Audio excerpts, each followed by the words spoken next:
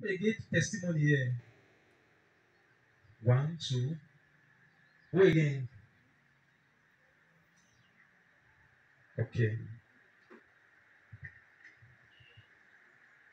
Rem- eh, okay. The next prophecy. What is that? Future business sector of Morocco. The future business sector of Morocco shall so much fall down and collapse drastically in, in red ink, bringing down its stock exchange market for almost three years.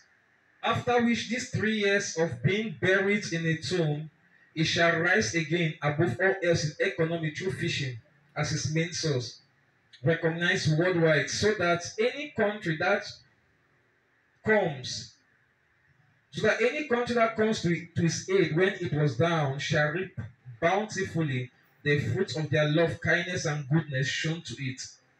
For even its petroleum shall be affected in those three years, almost three years.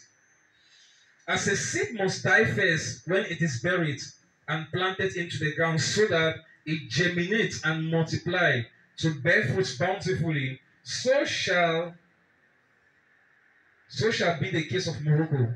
So therefore, Morocco shouldn't panic when when they begin to see almost three years, everything is like the economy and the business sector of their nation is going down. If they panic, they might go out of track and not be and not be able to see the light at the end of the tunnel when it is time for them to be the leading nation. Amen.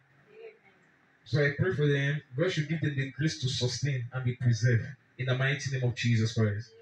Okay. That's all.